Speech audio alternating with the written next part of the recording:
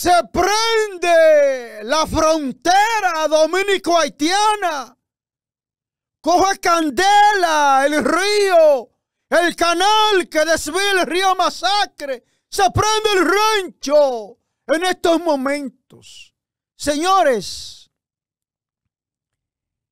ya nosotros hemos observado este aparataje o un aparataje más del canal de la vigía que ahora lo relanzan, lo ponen a bombear, que secaron el río del lado haitiano, que es un logro del gobierno y toda la prensa aplaudiendo como foca, porque ese aplauso obedece a, una gran cantidad de dinero dada de soborno a la prensa tradicional, salvo honrosas excepciones que no guisan.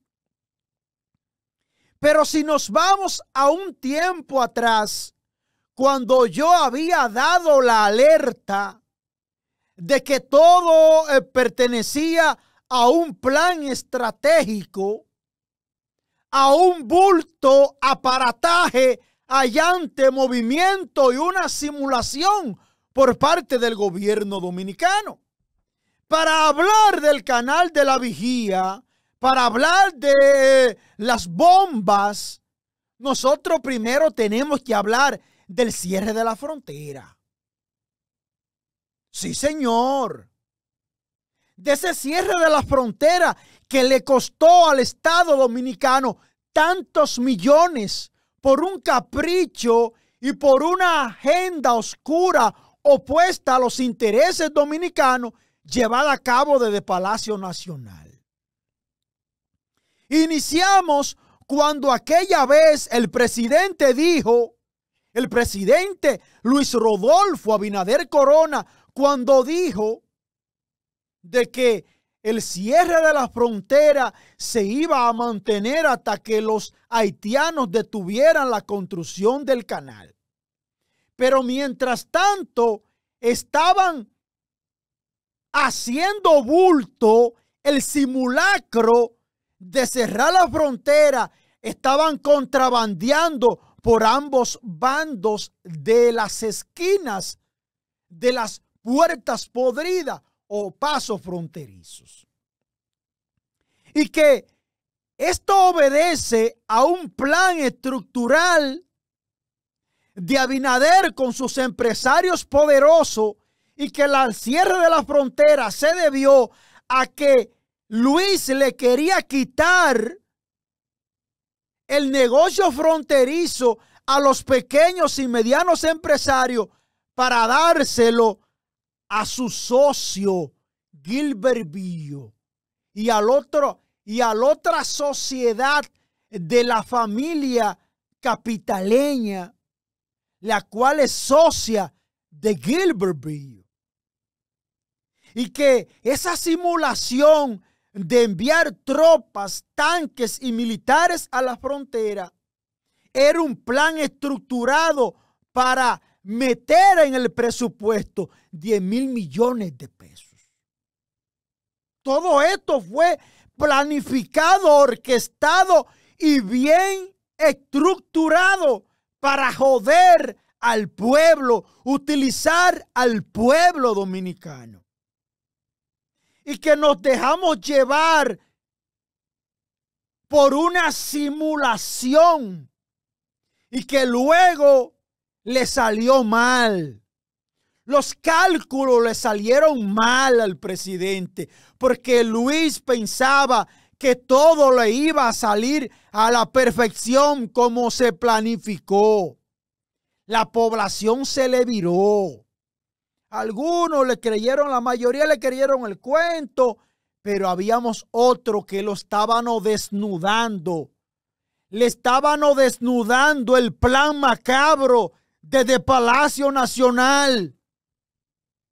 Y que todo era un contubernio esperando que se tiraran los militares de Kenia en Haití para sacar lucro político.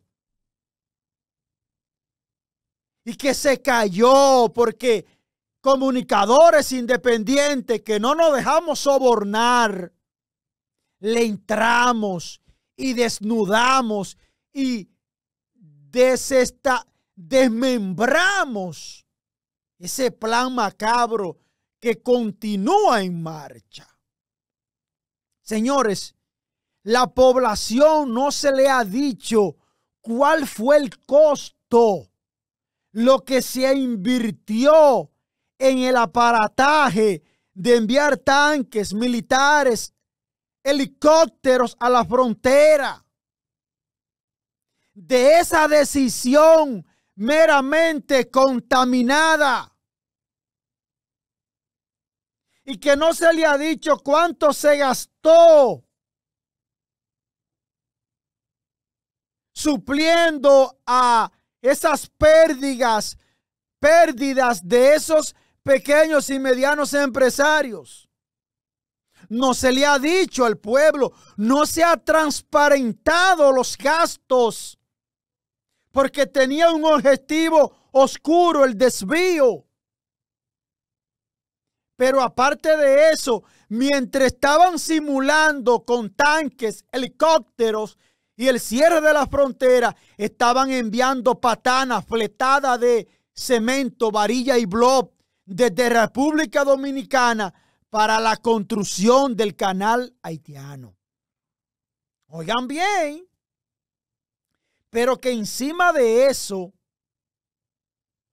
todo estaba dirigido a la terminación de ese canal con financiamiento de materiales desde la República Dominicana.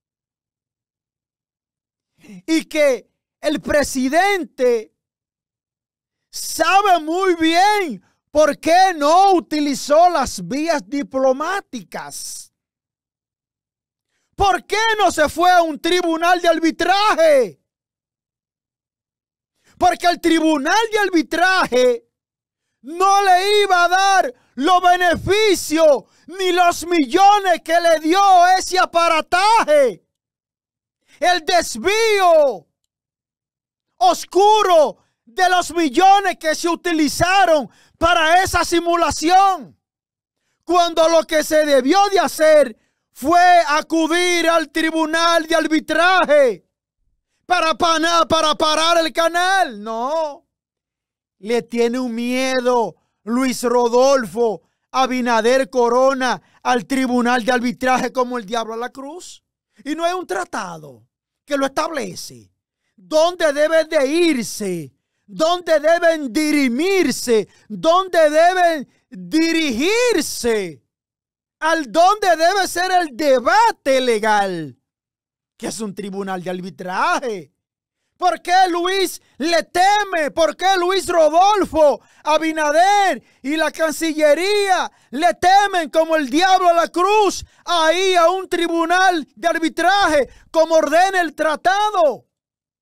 No, es que el tribunal de arbitraje no le va a dar luz verde y no tendrá excusa para el desvío con fines oscuros de muchos millones del erario público que lo utilizaron de manera clandestina, oscura, en esa simulación de enviar tanquetes, helicópteros militares a la frontera con un solo objetivo de desviar, de malversar fondos públicos a través de una simulación un bulto y un aparataje y engancharle más de 10 mil millones al presupuesto nacional.